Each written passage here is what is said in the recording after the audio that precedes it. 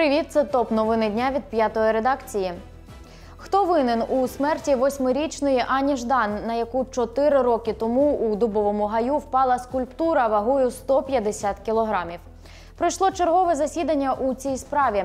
Чи не вперше все відбулося за правилами? Адже раніше засідання або переносились, або обвинувачений колишній директор дубового гаю не являвся, бо сидів у сховищі під час тривоги. Цього разу суд обрав для нього запобіжний захід у вигляді особистого зобов'язання.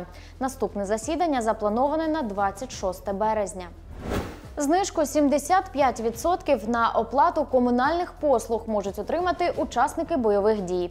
Для цього потрібно подати пакет документів до найближчого відділення пенсійного фонду, ЦНАПу, виконавчих органів сільської, селищної чи міської ради, або відправити онлайн через дію чи портал електронних послуг пенсійного фонду.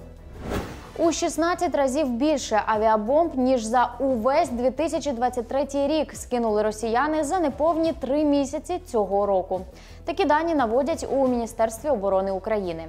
Цьогоріч прифронтові громади та позиції наших захисників окупанти атакували понад трьома з половиною тисячами різних авіабомб.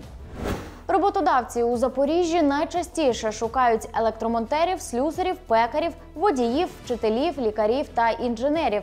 На одне робоче місце в середньому претендує 15 людей. Повідомили в обласному центрі зайнятості.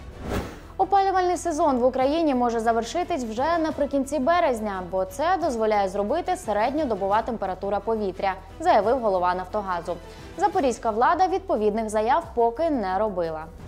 Змінились графіки руху деяких маршруток. Буквально кілька маршрутів відтепер курсуватимуть на годину, а то й півтори довше. Частина максимум на 20 хвилин. А ще кілька перевізників по вихідних будуть закінчувати роботу раніше. Залишайте коментарі, чи задоволені ви новими графіками, бо нам пишуть після 20-ї у деякі райони міста маршруткою не доїхати. Більше новин у телеграм-каналі П'ятої редакції. Підписуйтесь там тільки найголовніше.